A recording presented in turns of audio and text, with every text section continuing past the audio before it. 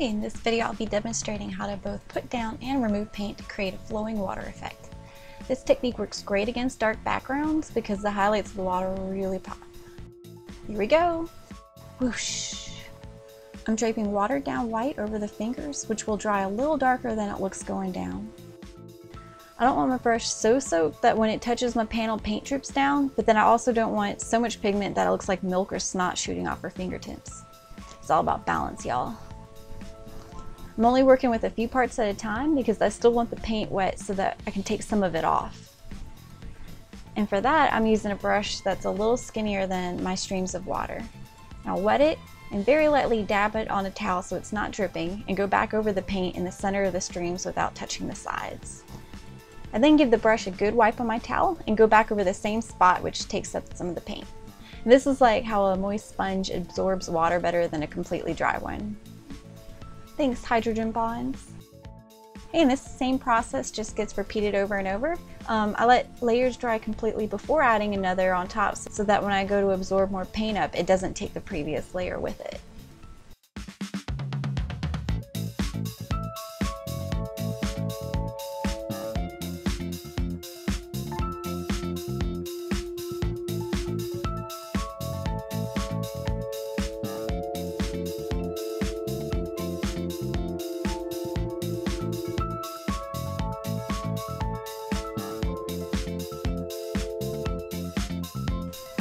I'm using a similar technique to add some subtle shadows in the palm here instead of trying to meticulously blend. I just slap some paint on and then go over with a clean damp brush that I squeeze with my towel to take off any excess water. I'm using just the slightest bit of pressure. I'm not going all the way to the edge again because I want to leave that nice line of paint. The screw trying to paint skinny little lines.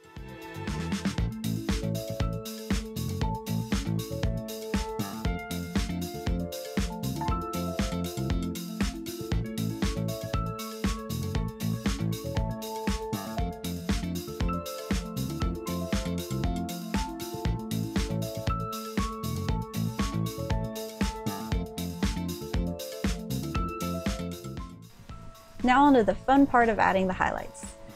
This is maybe the most important part because it's what actually makes clear water visible to us. I'm adding them to the edges and also to any high points such as the meatier parts of the hands.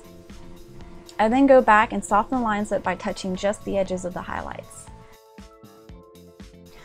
More ripples will give it a runnier appearance, whereas keeping everything smooth will make it look more viscous, like slime or snot, or you get the idea.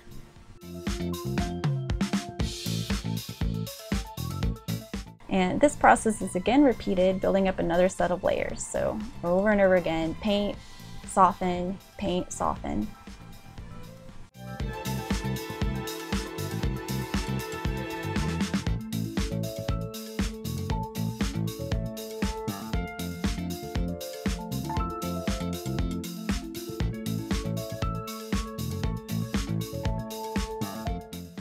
If you find yourself wondering, well, where is this water coming from? What are we doing in space here?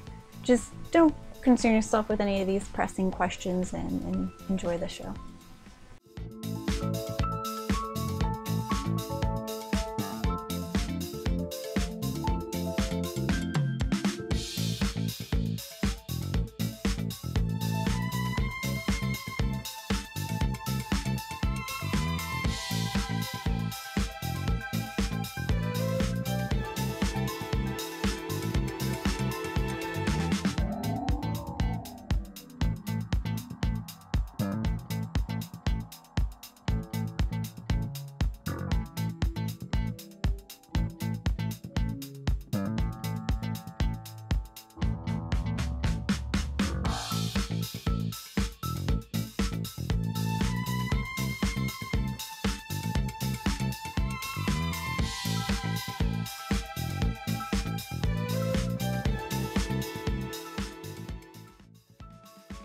And to really give the appearance of some wet fingers, I'm going to add a little highlight to each of the fingertips here. Boop, boop, boop, boop. I'm also going to add one to this water droplet and any other round shape to show that they're glistening.